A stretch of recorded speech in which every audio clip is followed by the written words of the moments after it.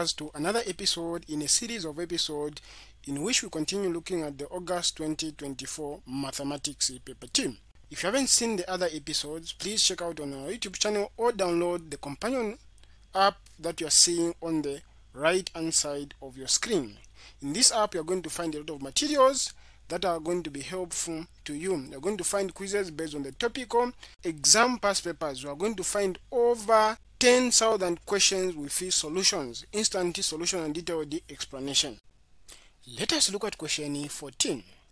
In the diagram, P, Q, R, S are points on the circle with center O and PQR equals 68 degrees. TRU is a tangent at TR. Find A angle POR, B angle PSR, C angle PRO. So this question is one of the questions that comes in paper 1.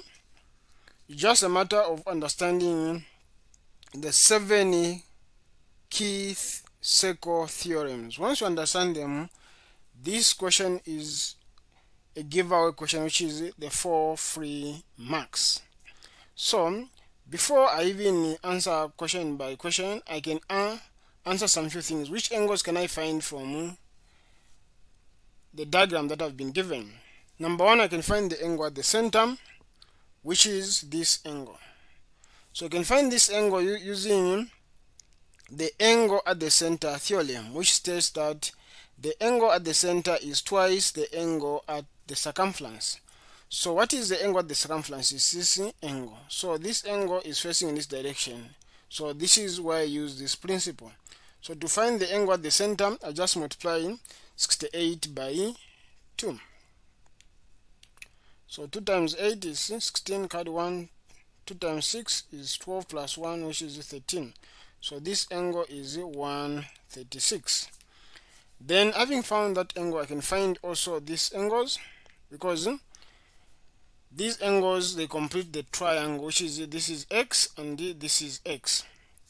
So to find that angle, I just add the, the 3 so I can use this space which is so it will be x plus x plus 136 must equal to 180 so 2x is equal to this one closes the equal sign becomes a negative. So we're going to have 180 minus 136 so I'm going to end up with 2x is equal to 44 then divide by 2 divide by 2 so x is equal to 22 so the value of x there is in 22 so I can just come and label this one to be 22 degrees and this one to be 22 degrees.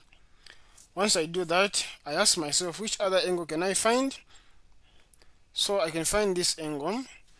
How can I find this angle I use the cyclic quadrilateral theorem which states that the opposite angles in a cyclic quadrilateral total 180 degrees.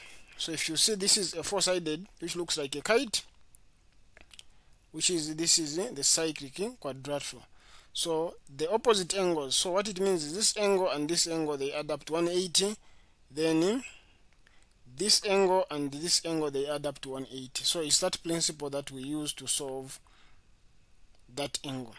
So I can use this space here. So I'm going to say let me call this angle to be y. So it's y plus 68 degrees is equal to 180 using the cyclic quadrilateral theorem. So y is equal to 180 minus 68. So y is equal to 112 degrees. That's the value of y. So I found the, the value of y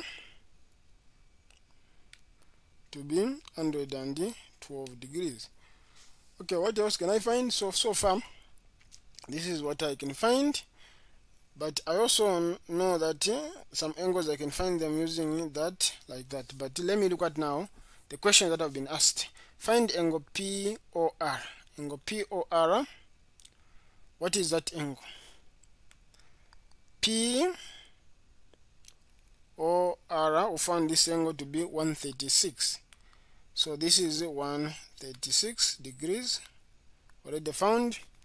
Then angle PSR so which angle is that? PSR we found this angle to be 112 so just now the matter of putting 112 degrees. What's the last angle? Angle PRO PRO so is this angle PRO this angle. Okay I can use the black one. So this is this angle this angle we are looking for. So that angle we already found it to be 22 so we've already answered everything. So this is how you answer this question to get the full 4 marks. Thank you for joining me in this episode. Join me in the next episode as I look at question 15